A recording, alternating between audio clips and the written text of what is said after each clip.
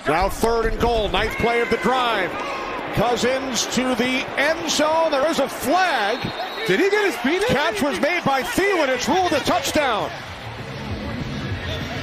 Wow, another one-handed catch, Kenny.